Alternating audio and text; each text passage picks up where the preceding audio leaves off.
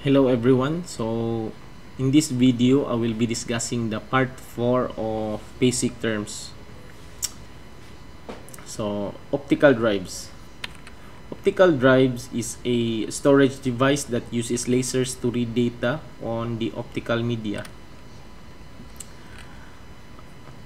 Types of optical drives. So we have the CD drive and DVD drive. CD drive for uh, CD CD only no? While the DVD drive is it can read CD and DVD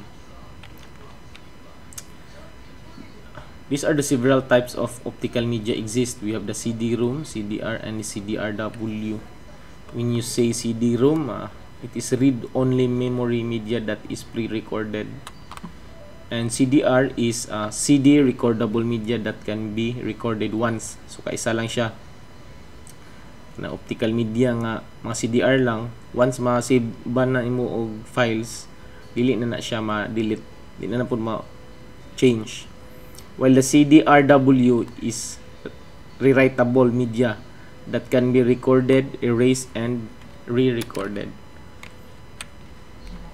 We have also uh, DVD DVD room. DVD RAM.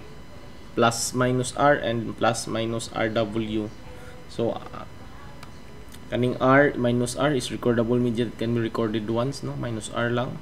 Ang RW is rewritable media that can be recorded, erased, and re-recorded again. So, we have, we have DVD room, read-only memory that media that is pre-recorded. And DVD RAM is DVD random access memory media that can be recorded, erased, and re-recorded. And these are the example of flash drives no? Or commonly we know it as a USB no?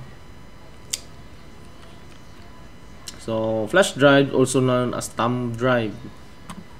Removable storage device connects to a USB port. So flash drive yun enter man dili siya USB ang USB is katong port. Uses a special type of memory that requires no power to maintain the data Tsada ka siyang memory, no? Kay no need of power.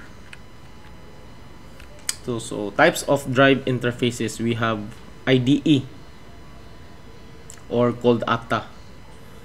An early drive controller interface that connects computer hard disk drives. So, itong hard disk to motherboard, muna siyang itawag IDE. We have also EIDE, Enhanced IDE. Okay? Uh, it has a larger than of IDE, know, larger speed, no? Larger data. Enables DMA for speed, no? So, kini siya muna siyang IDE, ATA. So, types of drive interfaces, we have PATA and SATA. Ang PATA is kanto siya kani. Ang SATA is katong bag-o na ipakita sa inyo. Okay? Ito itong kini muna muna siya SATA. Okay muna siya SATA cable okay so muna siyang IDE sa ubos nga hard disk kani siya. Ubos kani usara ni siya. Kani hibod sa taas muning SATA nga hard disk kani okay so those are the difference. Oh we need to sa ilang interfaces no And we have small computer system interface uh, or the SCSI is a drive controller interface that connect up to 15 drives. So kini sa siya ni siyang pang anang uh, SCSI no nga mag-connect ka og daghan hard drives. Kini siya gamiton. Internal and external drives. For servers ina na servers no. Especially for servers mo gini siya Muna siya dagway niya.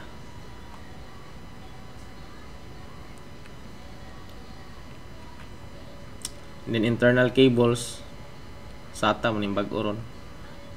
FDD mo ning sa diskit ning pata wala naman sini sila ron.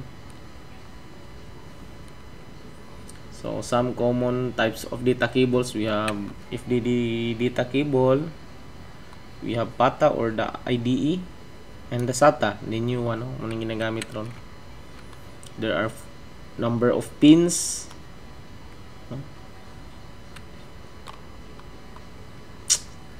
FDD data cable. So this is the interface of FDD data cable. And this is the cable of PATA or the ADE. And the SATA. Input devices. So what are the input devices? We have the mouse, keyboard, digital camera, biometric authentication device, touchscreen, no? Biometric. Why mouse and keyboard? Of course, uh, you give instruction to computer. That's why input devices. Digital camera and digital video camera. Why it is input? Because you give image, you give video to the device, no? Biometric authentication because you give data thumb mark no? touch screen. Why? Become input device. Because touch you give. Pag touch nimo mo give siya instruction sa computer. Tanan going in sa computer that is input devices. Scanner also. Why? Because when you scan it no? Input pud siya. Makatag siya og scanned copy sa computer So kini siya no. Digital camera, video camera, biometric, touch screen no. Those are input devices kini sila. While the output devices is used to present information to the user from a computer. So examples is monitors, projectors, printers, scanners. Scanners it may be included because of 3-in-1 siya no. Fax machines, speakers and headphones. So types monitor, anong out output device man siya siya naman maghatag og out gikan sa computer no? But there are many types of monitors. CRT itong TV-TV sa una no? Karaan. LCD itong na liquid. Flat screen siya. Pero LCD pa siya. May lahat daw nimo mga LCD nga flat screen. Kay pag press nimo na siya mga liquid crystal. And DLP is mo projector digital light processing And these are the example ng mga monitor nga karaan. LCD. Now, monitors is LED naman. And then DLP, we have the projectors. And then we have the uh, monitor resolution, no? refers to the level of image detail that can be reproduced. So, makabantay ta sa monitor is kuha na siya. That is a number of resolution no? Na siya mga pixels na daghan na siya. The high resolution setting produce better image quality. So kung daghan siya resolution mas tsada imong monitor. So pixels kini siya no? Kani siya. The term pixel is an abbreviation of picture element. Picture element. Abbreviation ra din na siya no Pixels are the tiny dots that comprise a screen. Each pixels consists of red, green, blue. So the dot pitch is the distance between pixels on the screen. A lower dot pitch number produces a better image. Of course, kay mas dikit man siya ba? Kung makabantay ka og image na to, kanang mga kung izin mo ini na nimo gayo, di ba square square na siya? Muna siyang pixels. And that pitch is the distance between those square square mas gamay ang dot pitch, mas tsada ang image, okay, no? And then kung mas dagan ang pixels, mas tsada siya kay mas pino magay gamay magay mong pixels. Mas dako siya, di ba? Imagine kung zoom in gini mo, di gyud mo makita ang square sa to dako na siya nga image. Clear kay na siya. Okay? So that's the pixels. And when you buy a camera, pixels is uh, talks about how bigger your image is. Okay? Dili na siya ang pixels is kung dako ang pixels tsada na siya camera. Maybe because dako man yung image but not all dako ang image tsada og quality ang picture. Kay ang quality sa picture is magdepende gina siya sa brand sa camera. Kaya uban pila na siya ka pixel, la 48 megapixel. Ala, tsada nga siya. Oh. So wrong ha ang ang pixels is kadakon lang na siya sa image. Maybe the 48 megapixel dako siya nga image. Pero China phone day. So pangit gyapon gani siya result. Pero pag transfer mo sa computer dako kay siya pero pangit lang kay baraton man.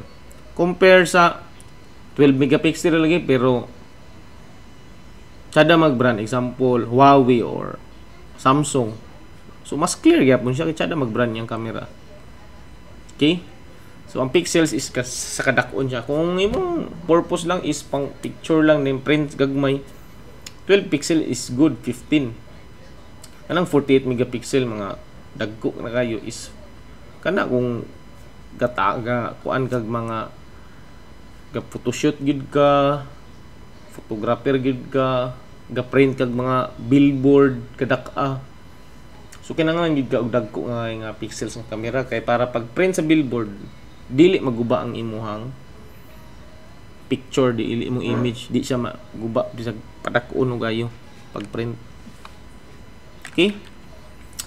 Refresh rate. So the refresh rate is how often per second the image is rebuilt.